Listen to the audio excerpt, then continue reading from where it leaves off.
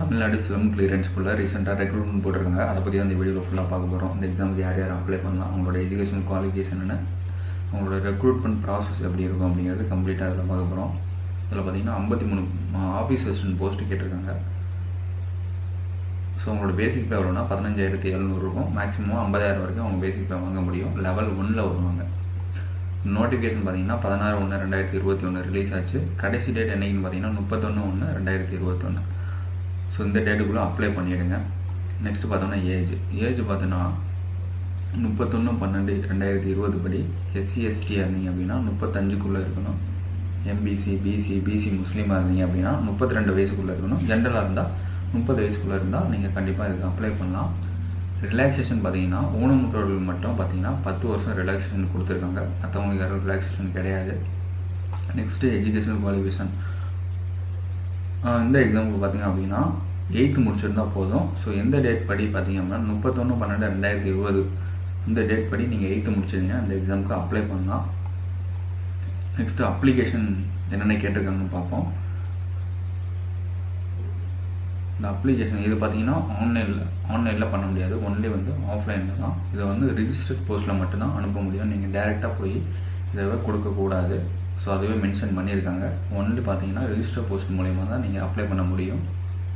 Right சைடில் பார்த்தீங்கன்னா passport size photo photo கேட்டிருக்காங்க.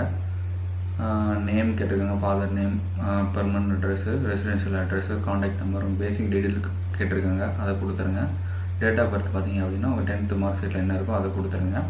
நெக்ஸ்ட்டு பார்த்தீங்கன்னா கம்யூனல் கேட்டகரி வித் சப்காஸ்ட் உங்கள் இப்போ ஹிந்துன்னா ஹிந்துன்னு மென்ஷன் பண்ணிவிட்டு பார் போட்டுட்டு உங்கள் சப்கேட் சப்காஸ்ட்டை மென்ஷன் பண்ணிடுங்க ஸோ நீங்கள் இதை அப்ளை அந்த அப்ளிகேஷனோட பார்த்தீங்க அப்படின்னா கம்யூனிட்டி சர்டிஃபிகேட்டையும் நீங்கள் ஜெராக்ஸ் எடுத்து செல்ஃப் அட்டஸ்ட் பண்ணி அப்ளிகேஷனோட அட்டாச் பண்ணி நீங்கள் அனுப்பணும். அதுக்கப்புறம் பார்த்தீங்கன்னா எஜுகேஷன் குவாலிஃபிகேஷன் சர்டிஃபிகேட்டும் அதே மாதிரி தான் நீங்கள் அது ஜெராக்ஸ் காப்பி எடுத்துகிட்டு செல்ஃப் அட்டஸ்ட் பண்ணி இந்த அப்ளிகேஷனோட அட்டாச் பண்ணி அனுப்பிடுங்க. ஸோ இப்போ டென்த்து டுவெல்த்து இல்லை டிகிரி படிச்சிருந்தீங்கன்னா அதுக்கோட டீட்டெயில்ஸ் கேட்டிருக்காங்க. டென்த்துனா டென்த்து என்னைக்கு ரிசல்ட் பப்ளிஷ் ஆச்சு? என்ன மீடியம் ஆஃப் இன்ஸ்ட்ரக்ஷன் என்ன பயிற்று மொழின்னு கேட்டிருக்காங்க. தமிழ் மீடியமாக இங்கிலீஷ் மீடியமாக கேட்டிருக்காங்க. சர்டிஃபிகேட் நம்பர்ஸ் இந்த டீட்டெயில்ஸ் கேட்டிருக்காங்க. அதை ஃபில் பண்ணி அனுப்பிடுங்க. நெக்ஸ்ட்டு பார்த்தோன்னா வீடியோ ஸோ அந்த கேட்டகரியில் வந்தீங்கன்னா அதுக்கான சர்டிஃபிகேட்டும் நீங்கள் அட்டாச் பண்ணி அனுப்பணும் அப்ளிகேஷனோட அதே மாதிரி தான் ஊனமுற்றவர்கள் எக்ஸ் சர்வீஸ்மேன் அதே மாதிரி தான் கீழே பார்த்தீங்க அப்படின்னா பிளேஸு டேட் மென்ஷன் பண்ணிடுங்க. தவறாமல் இங்கே உங்கள் சிக்னேச்சர் அப்ளிகண்ட் யாரோ அவங்க சிக்னேச்சர் கண்டிப்பாக மென்ஷன் பண்ணணும். ஸோ கம்ப்ளீட்டாக எந்த டீட்டெயிலுமே விடாமல் கம்ப்ளீட்டாக ஃபில் பண்ணி அனுப்புங்க. சப்போஸ் எதுவும் ஃபில் பண்ணாமல் அனுப்புனீங்க அப்படின்னா கண்டிப்பாக அவங்க ரிஜெக்ட் பண்ணிடுவாங்க.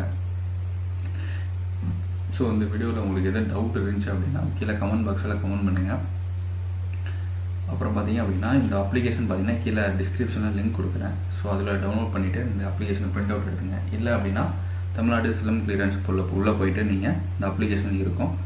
ஸோ அதில் நீங்கள் பிரிண்ட் அவுட் எடுத்து அப்ளை பண்ணலாம்.